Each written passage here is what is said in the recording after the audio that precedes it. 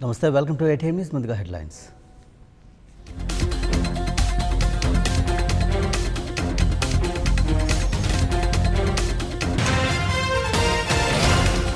ప్రజా సమస్యల పరిష్కరణ ఎజెండా నేటి నుంచి పవన్ రాయలసీమ టూర్.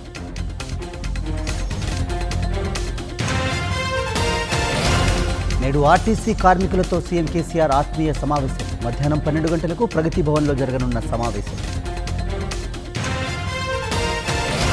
నేడు అంతర్జాతీయ ఎయిడ్స్ డే అవగాహన కార్యక్రమాలు చేపడుతున్న స్వచ్ఛంద సంస్థలు.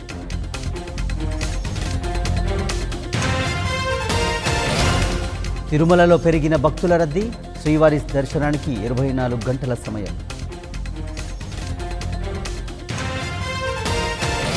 నేడు బీసీసీఐ వార్షిక సర్వసభ్య సమావేశం. కూలింగ్ ఆఫ్ నిబంధనల మినాయింపుపై నిర్ణయం తీసుకునే chance.